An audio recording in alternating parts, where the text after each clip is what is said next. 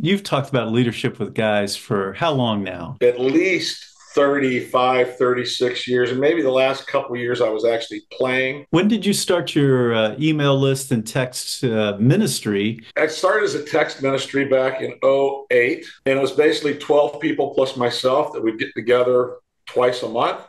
We'd pick a topic. I started off teaching it. We'd share some thoughts, and then I'd type up the highlights, the bullet points, or text them to them at the end. So they had some some reference. Over the years it grew to way too many text messages that Karla would again look at me and go really?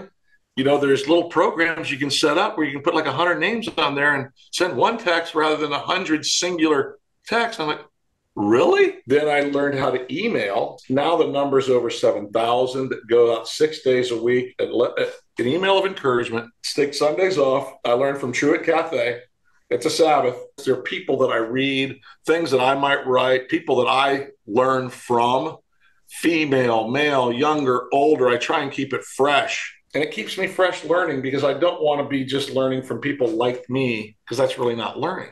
Right. I need to reach outside myself and stretch and grow.